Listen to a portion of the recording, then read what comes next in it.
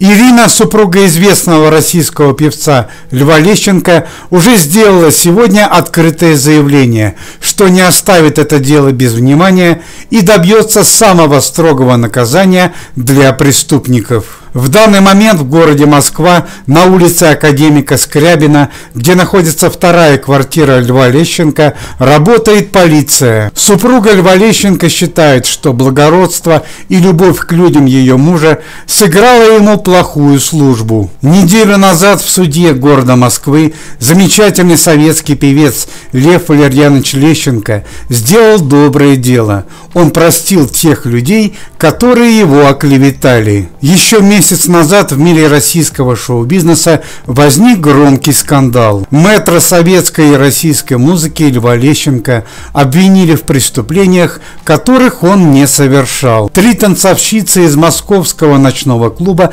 заявили, что Владимир Винокур и Лев Лещенко проводили с ними время и дарили им щедрые подарки. Танцовщицы вместе со своими молодыми людьми просто атаковали семью Льва Лещенко, приходили к ним нему домой и звонили его супруге. Лев Валерьянович терпел это безобразие до поры до времени, но потом все же открыл судебное разбирательство. В суде было доказано, что все обвинения – это наглая ложь. Однако Лев Валерьянович не захотел ломать судьбы молодым людям и отказался от возбуждения уголовного дела. Однако танцовщицы и молодые люди ответили Льву Лещенко черной неблагодарностью. Вначале российский певец заметил, что у него исчезла круглая сумма денег с кредитной карточки. Лещенко списал это происшествие на мошенников и не подозревал о страшной угрозе. Однако два дня назад кто-то повредил личный компьютер Льва Валерьяновича,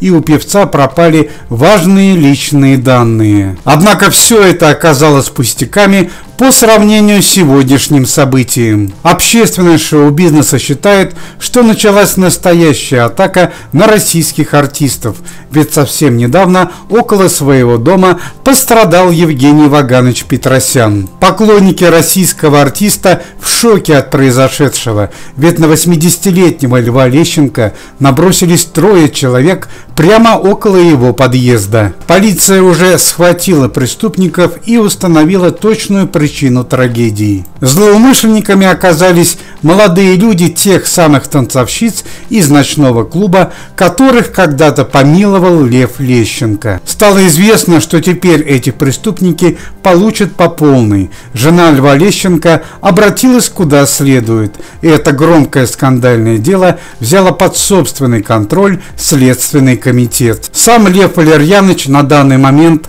находится в Центральной Московской больнице. Состояние легендарного певца оценивается как средне тяжелое. Однако преступники нанесли Льву Лещенко телесные повреждения, и теперь замечательному артисту придется некоторое время находиться в больнице. Как отмечает супруга певца, Лев Лещенко находится в удрученном состоянии и не дает интервью. «Мой муж всегда доверял людям и верил в добрые поступки. Ему сейчас очень тяжело морально», констатирует супруга Льва Лещенко.